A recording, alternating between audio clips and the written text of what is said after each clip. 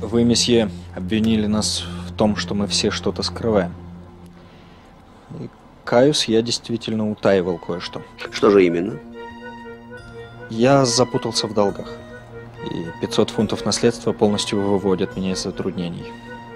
Но очень трудно признаваться в том, что тебе нужны деньги. Люди могут это неправильно понять. Но у меня железная альби. Без четверти десять я был с майором Бленда в бильярдной, поэтому мне бояться нечего. Вот. А зашел я к вам, чтобы облегчить душу. Ну, правильно сделали. Когда от меня что-то скрываете, я начинаю думать о плохом. Я рад, что я очищен от подозрений.